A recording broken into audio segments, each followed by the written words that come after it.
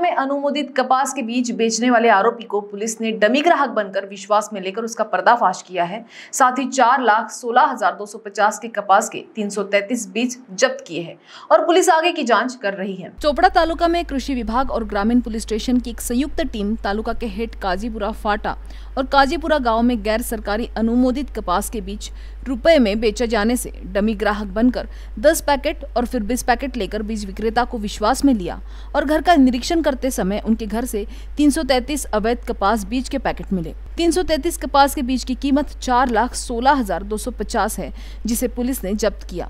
चोपड़ा ग्रामीण थाने में मामला दर्ज किया गया है। टीम में जिला गुणवत्ता नियंत्रण निरीक्षक अरुण तायडे, तालुका कृषी अधिकारी दीपक सालुंके, कृषी सहायक और पुलिसकर्मी शामिल थे।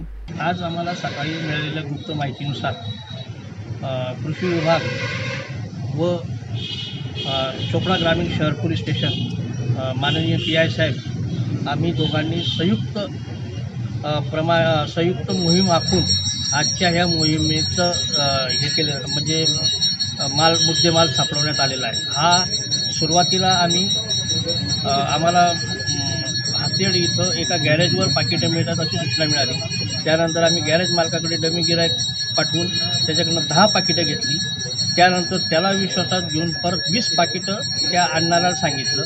त्याने वीस पाकिटं आणली. अशी तीस पाकिटं झाली. त्यानंतर आम्ही त्याला पोलीस प्रशासन आणि कृषी विभाग यांच्या संयुक्त विद्यमाने त्यांच्या घरी जाऊन झाडाझडती घेतली असता या आम्हाला तीन एकूण तीनशे तेहतीस पाकिटं आज पिंक पॉट ह्या अनधिकृत एस टी बी टी कापसाची आढळली आहे जप्त करण्यात आली कुठून कुठे केले सर? कुठल्या गावाला गेले सुरुवातीला हातेड नंतर काजीपुरा फाटा आणि नंतर मग काजीपूर गाव. बरं या संपूर्ण तीनशे पाकिटचा अमाऊंट किती आहे?